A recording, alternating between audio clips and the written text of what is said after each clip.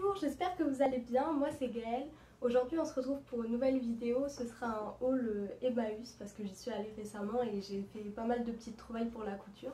D'abord je voulais vous remercier pour euh, vos abonnements et vos gentils petits commentaires que vous me laissez sous mes vidéos. C'est très gentil. Du coup euh, je vais d'abord commencer par la mercerie.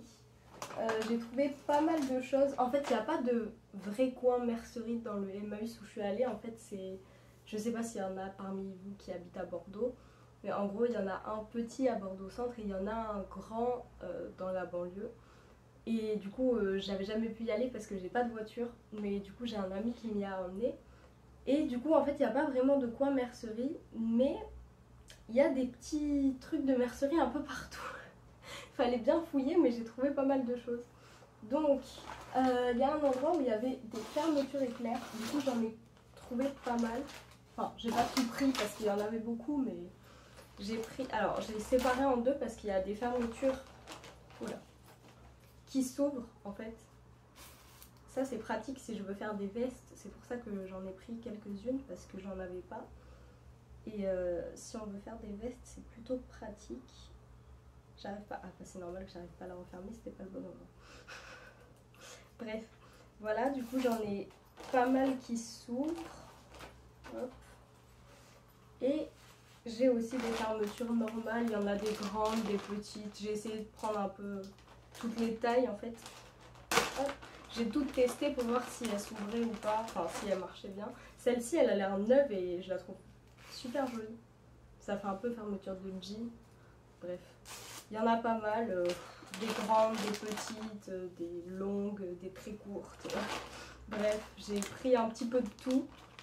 Et euh, ça me fait un petit stock de fermeture. Voilà. Ensuite, j'ai trouvé... Alors ça, c'était à côté des tissus.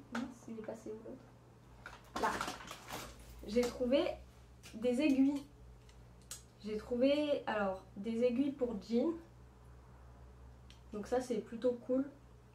Pour l'instant, j'ai fait qu'un seul euh, projet en jean que je vous ai montré dans mon premier podcast, c'était le petit euh, haut euh, d'été. Et pour l'instant, je pense pas me coudre de jean, j'ai pas encore le niveau, mais si je veux recoudre du jean, ce sera pratique. Et j'ai aussi trouvé des aiguilles universelles. Il y en avait que deux dedans, ou deux ou trois, et plus une qui était cassée, mais bon, ça me faisait quand même quelques aiguilles, c'est cool. Ensuite, j'ai trouvé quelques boutons. Alors, attendez. Je vais vous montrer ça. J'ai pris ceux qui étaient par l'eau surtout parce que sinon euh, c'était un peu galère. Et j'ai pris surtout ceux qui m'intéressaient, qui étaient, qui jolis parce que je commence à avoir beaucoup de boutons. Si vous avez vu mon haul précédent, euh, j'ai acheté plein de boutons récemment donc euh, je crois qu'on est bon au niveau boutons. Bon sinon s'il en reste au fond qui traînent, je vous les montrerai plus tard, à la fin quand je les retrouverai. Du coup, j'ai pris ces gros boutons noirs. Parce qu'il y en a pas mal. Il y en a 2, 4, 6. Des gros gros, il y en a 7. Et il y a deux moyens. Je me dis que si un jour je veux faire un manteau, d'avoir 7 euh, gros boutons noirs, ça peut être pas mal. J'ai aussi trouvé ces petits boutons gris. Enfin, petits. C'est des moyens, on va dire. Euh, pourquoi j'ai dit gris alors que c'est vert? vert, pardon. voilà, simple mais un petit peu dégradé en vert un petit peu kaki comme ça, c'est sympa. Il y en a 2, 4, 6, 8. Après, ceux-là je les trouvais trop mignons. Malheureusement il n'y en a que 3. Donc je sais pas trop ce que j'en ferai mais... Hop. Voilà, ils sont un petit peu... Euh, enfin il y a un effet ici, euh, je sais pas comment expliquer mais voilà. Ensuite, il y avait des gros boutons marron aussi. En fait, j'aime bien les gros boutons. Je sais pas pourquoi, mais...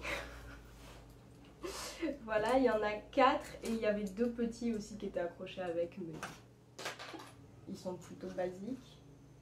Alors, là, il y a un gros bouton carré vert, vert émeraude, un peu... Euh, voilà.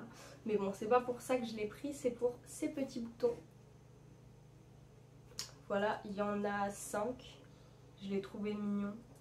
sur un petit chemisier ou quoi, euh, c'est super sympa. Ensuite, on a ceux-là. C'est pareil, il n'y en a que trois, c'est dommage, mais avec des petits strass en forme de fleurs comme ça. C'est trop mignon. Et alors, c'est mélangé. il y en a des comme ça avec un aigle dessus, on dirait. Hop. Ils sont sympas. Il y en a, ça, il y en a 5. 5 6. 6. Et avec, il y avait ceux-là qui sont carrés, mais avec une forme euh, un petit peu bizarre dedans. Mais ils sont sympas aussi. Voilà. Et les derniers que j'ai pris, c'est euh, les carrés, il y en a combien? Je sais pas. 1, 2, 3, 4, 5, 6, 6. Et des ronds comme ça. Voilà. Il y en a 2, 4, 6, 8.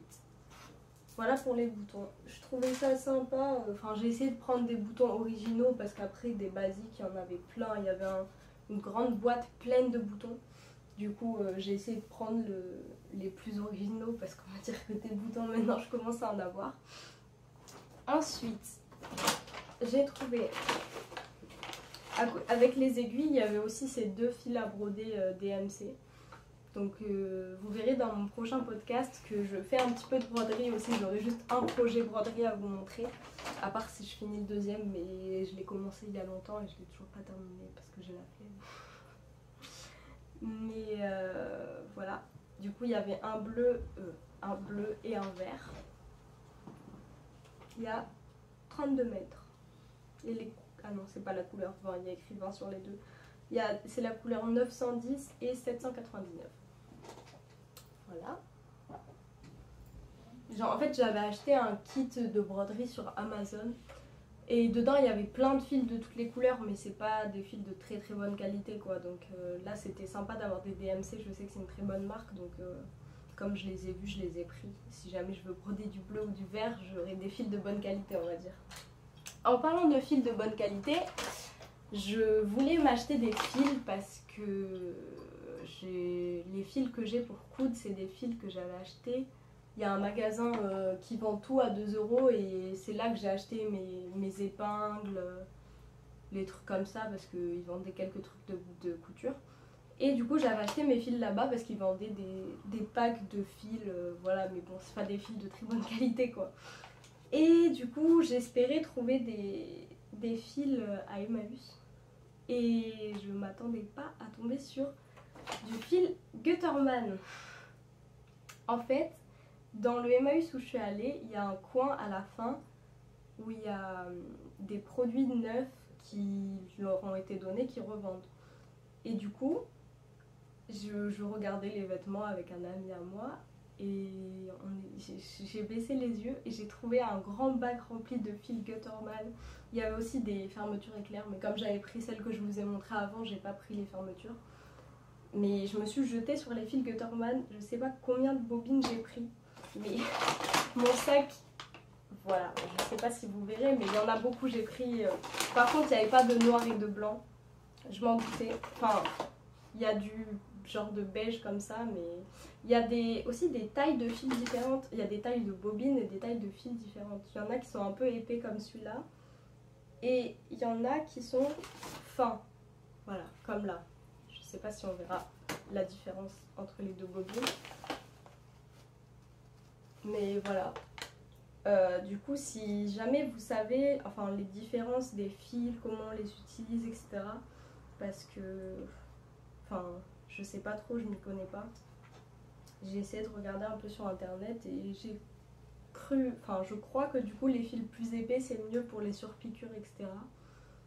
Bref. Voilà, j'ai un peu toutes les couleurs. Enfin, j'ai pris vraiment plein de bobines. En fait, quand, je, quand on est arrivé, euh, parce que du coup, en fait, on paye par. Il y a plusieurs catégories d'endroits. Et du coup, quand on arrive avec notre panier à la catégorie, euh, bah, du coup, là, des, des choses neuves, on leur, on leur, donne le panier et eux, ils nous disent un prix. On prend un ticket avec et après, on va payer et après, on les récupère. Je sais pas si c'est clair, mais voilà. Et quand il a vu tous les... notre panier avec tous les fils, il était là. Oh là là. je crois que de base, euh, ils, doivent euh, les faire payer, je sais pas, 50 centimes la bobine ou un truc comme ça. Sauf que comme j'en ai pris plein, il avait la flemme de compter et du coup, il a fait bon, bah 10 euros pour le tout. Je sais que mon, mon ami qui m'a amené là-bas, il a pris un, short aussi. Et du coup, moi, j'avais tous mes fils. Et j'ai acheté, ah oui, j'ai acheté des collants aussi. J'ai pris. Euh, ou 5 paires de collants, je sais plus parce que mes collants ils sont effilés. Je sais pas si vous le voyez, mais là de base j'avais un, pantalon, du coup mes collants effilés je les garde pour les mettre sous mes pantalons. Bref. mais euh, comme j'avais chaud, je me suis mis en short, mais j'ai pas changé mon collant. Bref. Tout ça pour dire que j'ai pris des collants avec, donc le short de mon ami, les collants plus toutes les bobines de fil, ça a coûté 10 euros. Euh, c'est pour ça que les autres prix, je peux pas vous dire parce qu'honnêtement, je m'en rappelle pas du tout. Et comme c'était, on a tout regroupé avec mon ami et moi, du coup on, a partagé à la fin. Du coup, euh, je peux vraiment pas vous dire les prix, mais voilà. Bref, du coup en couleur, j'ai enfin, du bordeaux, j'ai du orange, j'ai du rouge, du vrai rouge, j'ai du bleu, du bleu plus clair, enfin bref. J'ai fait mon stock de bobines de fil clairement, parce que du fil Gutterman à ce prix-là, on trouve pas ça tous les jours. Mon ami, il, a halluciné, il était mort de rire euh, de me voir avec toutes mes bobines. Il y a du lilas, du rose un peu plus. Enfin, ouais, du... ça c'est du mauve, bref. J'en ai plein. Je sais pas quoi vous dire de plus. J'étais tellement contente de trouver. Et encore, je regrette de ne pas en avoir pris plus. Mais bon, j'allais pas tout dévaliser quand même une autre couturière qui passait derrière moi est contente d'avoir trouvé euh, les bobines que j'ai pas prises. Je crois que j'ai pris toutes les grosses par contre. Enfin, peut-être pas toutes, mais la plupart des grosses. Les petites, euh, j'en ai pas pris énormément. J'ai pris les couleurs que j'avais pas dans les grosses. Bref. Ouais, je dois avoir une vingtaine, voire peut-être 30 euh, bobines Gutterman. Donc voilà, je sais pas si vous arriverez à bien voir. En plus, ça doit faire un bruit pas possible, mais mais... Mais voilà, j'étais trop contente de tomber là-dessus. Ensuite, dans le coin livre, j'ai trouvé, alors ça aussi c'est pareil, je m'attendais absolument pas à tomber là-dessus, un livre Burda. Je... En fait, j'avais dit à mon ami, euh, vas-y, je veux bien aller voir les livres vite fait pour voir si je trouve pas des livres de couture, s'il n'y a pas des petits trucs sympas et tout. Et j'en trouvais pas jusqu'à ce que je tombe là-dessus. Et vraiment, je crois que j'ai crié, enfin j'ai pas crié, mais j'ai fait genre tellement j'étais choquée de trouver un, livre Burda, j'étais trop heureuse. Du coup, euh, on a plusieurs patrons en fait. À la fin, vous avez les planches de patrons qui sont intactes en plus, c'est incroyable. Je vous en dis pas beaucoup plus sur ce livre parce que je vais vous faire euh, ma prochaine vidéo. Je pense que ce sera sur euh, ce livre et sur les les magazines Stoffel. Je vous ferai euh, une petite vidéo pour vous les présenter. Et c'est un livre qui date de... Attendez, il avait écrit la date dedans. 1900... Euh, je sais... 1986. Voilà, c'est trop bien, franchement. J'étais trop contente. Et voilà, un, livre Burda et je l'ai payé 2 euros. Voilà, pour vous dire, euh, voilà, j'étais franchement super contente. Donc voilà, je vous en dis pas plus que je vous montrerai dans ma prochaine vidéo. Ensuite, on va passer du coup au tissu que j'ai trouvé. Alors, j'étais justement en fait, je m'attendais pas à trouver tout ça, mais j'espérais trouver du tissu. Et des tissus en tant que tel, il y en a qu'un seul qui est un coupement de tissu, c'est celui-ci. bon, ils sont lavés mais pas repassés. je suis désolée du coup. Euh, alors, donc c'est un tissu comme ça, ça doit être du coton. Je sais pas en fait, mais c'est tout doux. Je pense que c'est du coton. Et c'est rayé comme ça. J'ai pas mesuré par contre, j'aurais peut-être dû pour vous montrer. Je pense que je vais me faire un petit short là-dedans. Le, bah, le modèle que je porte euh, aujourd'hui, que je vous ai montré dans mon premier podcast. Et je pense que je vais me le faire là-dedans. J'ai envie de faire plein de shorts. Euh, ce short là, j'ai envie de le refaire, mais j'ai tellement de projets en cours. Enfin, tellement d'idées et de projets que j'ai envie de faire que je sais pas. Enfin, Bref. Euh, je sais pas si. Je pense pas qu'il sera dans le prochain podcast ce short parce que je risque de mettre un peu de temps à le faire vu que j'ai plein d'idées et envie de faire plein de trucs. Mais, euh, voilà, il y a quand même un métrage pas mal. Attendez. voilà, en fait, il est pas très long sur... Bon, en fait, je sais pas comment expliquer. ah, attendez, j'ai mon mètre. Alors... Là, il fait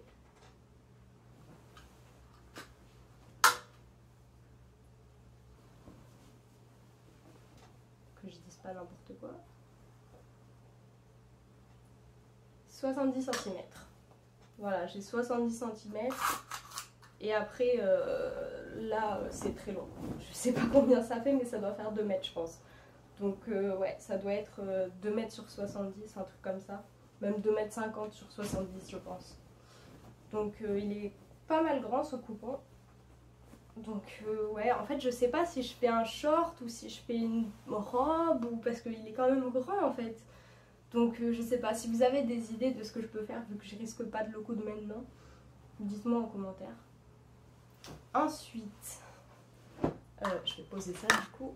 Alors je sais que, enfin dans les podcasts on vous dit souvent de pas trop, enfin que les personnes essayent de, pas trop acheter euh, vu que c'est pas cher, d'essayer de, de, se raisonner, de prendre que ce qu'ils auraient pris en magasin, etc. Mais moi, je suis pas vraiment de cet avis. En fait, pour moi, justement, je préfère acheter des draps à Emmaüs, etc.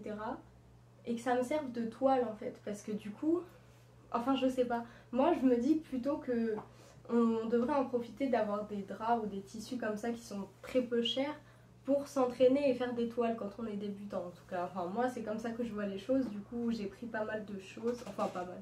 En vrai ça va, je me suis...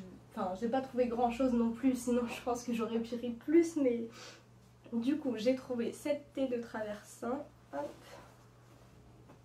qui est rose, pâle, voilà. Du coup je pense, c'est long une thé de traversin, du coup euh, c'est pratique, voilà. On a pas mal de tissus dedans. Et euh, du coup, je pense que je vais m'entraîner à faire ma toile de chemise parce que j'aimerais bien faire une chemise, euh, essayer d'en faire une, faire un col, un pied de col, une boutonnière, etc. Donc voilà. Mais c'est pour ça que j'ai pris ça. Je me suis dit que je pourrais faire ma toile de chemise là-dedans. Bon, ça c'est pareil, je sais pas si je le ferai de sitôt. Oh, j'ai quand même envie. Bon, on verra. En fait, j'ai tellement de projets en tête que je sais absolument pas l'ordre dans lequel je vais les faire. bon, bref, c'est bon pour cette, euh, cette euh, thé de traversin.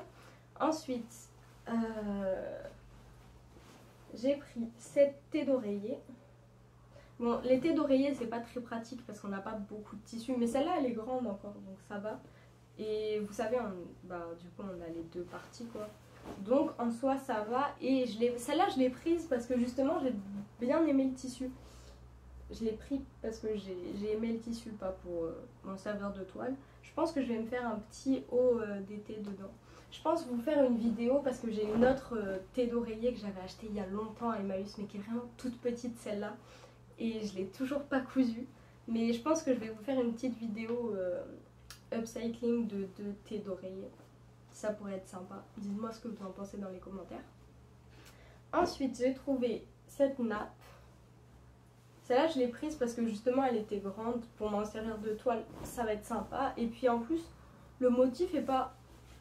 Enfin, pas dégueulasse. Moi, je le trouve mignon, quoi. C'est une nappe blanche avec des petites fleurs oranges. Sur les côtés, on a... Des fleurs aussi. Voilà, je la trouve sympa. C'est pareil, elle est grande. Par contre, elle est ronde. Du coup, c'est pas très pratique, mais je la trouvais sympathique. Euh, ça, je sais pas encore trop ce que je vais faire dedans, mais c'est pareil. En fait, dès que, j'ai envie de, de coudre quelque chose et que je suis pas sereine, bah, je sais que j'ai ces tissus pour m'entraîner en fait. Donc, euh, c'est rassurant. Ensuite, j'ai cet énorme drap qui est en fait un dégradé de rose un petit peu. Et celui-là, je l'ai pris parce que j'ai fait euh, une toile de robe euh, que vous verrez dans mon prochain podcast couture.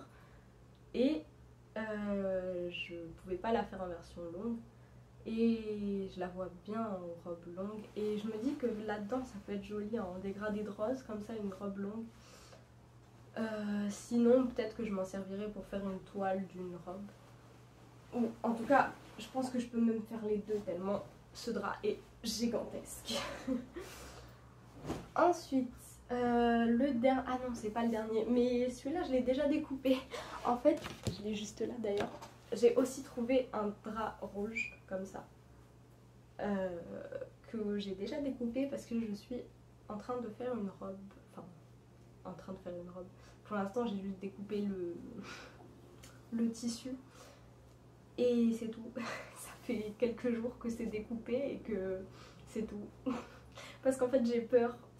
Enfin, elle a l'air un peu compliquée comme robe à faire et j'ai un peu peur de me lancer. Mais bon, maintenant que mon tissu est découpé, euh, va falloir que je me lance. Euh, j'ai même fait un top. Euh, bah, après avoir découpé le tissu pour cette robe, j'ai fait un autre top pour vous dire à quel point j'ai pas envie de me lancer. Mais bon, va falloir que je le fasse. Hein je vais me motiver, je vais la faire cette robe parce qu'elle est rouge en plus, elle devrait être trop belle. Mais bon, voilà. Du coup, c'était un drap rouge. Euh, voilà, tout simple, mais sympathique. Puis comme j'adore le rouge, j'étais contente. Et si j'arrive à la faire, ma robe rouge, elle devrait être très jolie. Et du coup, le dernier tissu que j'ai trouvé, c'est ça. C'est un, une housse. Non, je sais pas comment on appelle ça. Un drap housse. Oui, c'est ça. Et en fait, je l'ai pris parce que du coup, c'est élastique. Du coup, je me suis dit que c'était un petit peu comme du jersey. J'ai envie de m'entraîner à faire des t-shirts ou des trucs comme ça. Ça va être pratique. Du coup, bah voilà. La couleur est sympa. C'est fuchsia. Hop. Voilà. Et puis, on a pas mal de métrage en vrai. Donc euh, voilà. Ensuite, je vais vous montrer. Euh, j'ai pas acheté grand chose comme habit, mais je suis contente de ce que j'ai trouvé. J'ai trouvé ce pull. C'est un Timberland en plus. Bon, c'est en taille XL, c'est un petit peu grand pour moi, mais il me va quand même. Et voilà, c'est un pull à manches longues euh, basique. Et il est en laine, coton et je sais plus. Attendez. En tout cas, c'était une bonne composition, donc euh, j'étais contente de le trouver. Il est 31% de laine. Attendez il y a... Attendez. ah oui d'accord, c'est écrit en plusieurs euh, langues différentes, mais pas dans le même ordre. Bref, il y a 31% de laine, 26 euh, de coton et après c'est de la viscose, polyamide et polyéther. Mais voilà, il y a de la laine et du coton, il est, il est tout doux. Il pique un peu parce qu'il y a de la laine, mais en vrai ça va. Comme dedans c'est doublé, euh, ça pique pas. Puis voilà, un gros pull pour l'hiver c'est toujours sympa. J'ai aussi trouvé pour l'hiver des gants. Ils sont rouges, évidemment. Et ils sont à ma taille. Et des gants pas chers, c'est difficile à trouver. Donc, euh, bon, là, on arrive en été, donc j'en aurai pas besoin. Mais pour l'hiver prochain, ça va bien me servir, je pense. Et en dernier, j'ai trouvé ce manteau en laine qui est magnifique, je trouve. Il est super sympa. Hop là. Je sais pas si vous verrez bien mais c'est un manteau un petit peu long. Bon, il est un peu grand, mais ça fait un effet un peu oversize et je le trouve super sympa. Il a un peu une coupe un peu blazer. Et il est, c'est pareil, ça c'est de la laine, c'est 100% laine et dedans après c'est une doublure. Donc euh, voilà. Et c'est pareil, euh, les tissus et les habits que je vous ai montrés, euh, tout ça c'était au même endroit. Du coup j'ai vu, je crois que j'ai payé 15 euros ou 18 euros, un truc comme ça pour tout. Et encore, il euh, y a mon ami qui avait pris quelques habits avec. Donc, euh, pour vous dire à quel point c'est vraiment, vraiment pas cher, quoi. Donc euh, voilà, j'en ai fini pour cette vidéo. J'espère que ça vous a plu. N'hésitez pas à me dire ce, que, ce que vous avez préféré. En tout cas, j'étais vraiment super contente et étonnée de trouver du Gutterman et un livre Burda à, à Emmaüs. Donc euh, dites-moi en commentaire quelle est votre meilleure trouvaille à Emmaüs et on se retrouve bientôt pour une prochaine vidéo.